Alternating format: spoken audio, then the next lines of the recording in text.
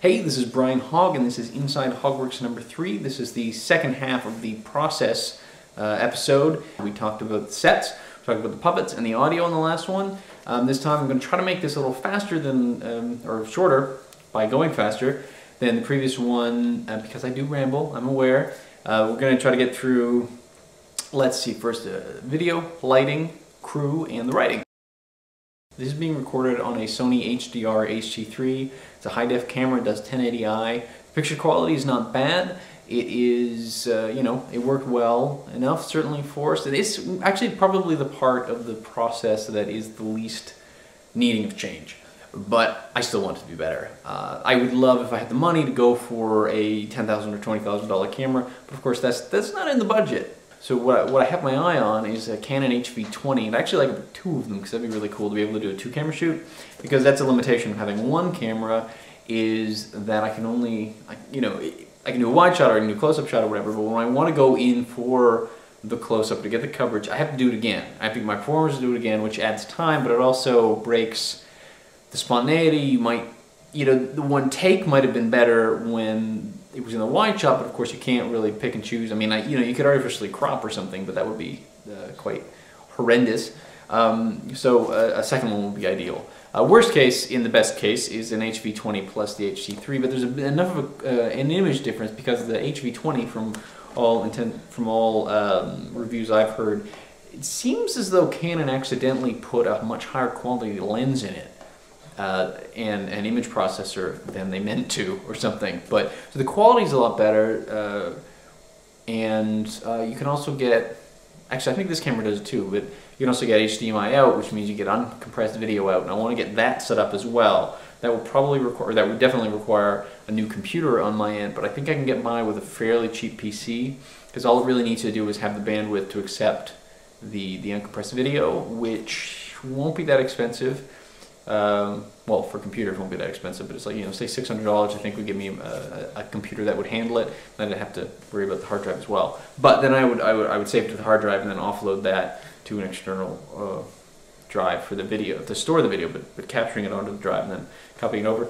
Um, as I said, this is sort of the, the, I almost said the weak link, but I guess the weak link in terms of the needs to upgrade because the image quality is not that bad. And uh, with better lighting, this camera actually looks like the, the video in this camera looks much better. Uh, like in daylight, looks great. In my, uh, you know, the Darkroom 1 setup, it didn't look great. Um, but I think because I'm going to be fixing the video, or probably the lighting anyway, which is the next thing I'm going to talk about, it, the two of those things together will sort of work nicely. So those are the camera. I want I want the camera. I want I just want I want two of them. I mean it requires having a camera operator. And I have one lined up, but um, want to get a second one or at least even have the option to do it would be great. I mean, I could get like two two static shots. You could have like a moving shot and then a static shot, uh, and then you don't even need two camera operators. You know, one of them could be the static medium shot of the whole scene. So you have the two people like, hello, how are you doing? Well, I'm doing okay. Well, that's great. And then one camera kind of, you know, uh, moving around and, um, and, and just sort of finding uh, focal hotspots. And that would be great because then you could cut from static to close, and it would be it would be so much better. You'd still have a nice blend of of movement and, and, and, stability as well and everything. So it'd be, it would be it would be a nice compromise, although two camera operators would be even better. So the second thing is the lighting, and I don't know if you can tell, but uh, I look a little better than I did in the previous episode. Although at the end of the last episode, I looked a little better. I was sort of in this rough pose. Um, I'm improving the lighting drastically because the lighting in the last season sucked. I had these $15 fluorescent lights. They're of the kind that you would generally find in a person's basement, uh, keeping a little greenhouse alive. Uh, I basically I glued them to a 1x4 which I built a base on so they just kind of sat on the floor. Um, and actually it worked in many ways because it, like the elevator light, which was like $5 fluorescent, didn't look that good, but it was still an office environment, so it kind of fits that, like the studio here has crappy fluorescent lights. Um, but the problem with it was it created, because they were low quality, and you need higher quality to apparently avoid this, created sort of a, a, a visual banding. So you'd have, if my hands were just dark gray instead of my hands, you would, as I'm talking, you would just see kind of this thing going up. And you really, you know, you'd notice it kind of, because it only really happened when it was white Um, that was that was my hiding behind my head. Um, you know, when it was just a white screen, which happened a lot because most of the sets were kind of white. Uh, and that happened with more than two lights and it was just an interference thing.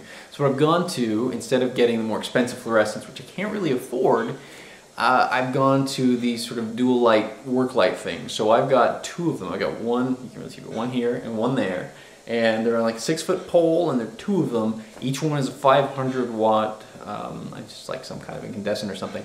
I've got, I've got parchment paper serving as a diffuser over it um, I'm gonna get like a little voltage limiter thing uh, to do a dimmer, which apparently I can do. Um, and I won't get the banding. The light quality is good. I can put, I'm gonna have to figure out a thing to put gels in front to affect the color because it's a little, it's a little reddish for my taste right now, I think. Um, but that'll be fixed. I also have a single light like that and I have behind me, I have just a little, you can see there, just a, a little sort of backlight to get, you know, the highlight kind of thing. Uh, one of them will be in the foreground and then the other will be um, in some sets, like this, in this particular set, I don't need anything focused on the background, uh, and that would happen for a lot of the puppet sets, uh, like in the you know the cubicles and various other things, and that would be sort of the puppet where I am, and then the, the you know the set behind. But then also for the green screen, um, I'll use the second light to illuminate the green screen separately, and I'll be able to have the physical separation to actually get a better lighting on that, so it'll help my ability to key nicely. I'm probably also going to upgrade um, the keying fabric. I just use have some blue felt right now, but um, I can for like 150 bucks, I can get a pretty good size and pretty good quality, like actual uh, key fabric, and I'm really considering that. I don't, I'm gonna have to wait for a little bit for the money on that, but because um, that money's spoken for, but uh, it'll be it'll be cool. In the cases when I have like say I'm illuminating, you can't really see because there's nothing here, but this is just my black wall that I've just put up for this.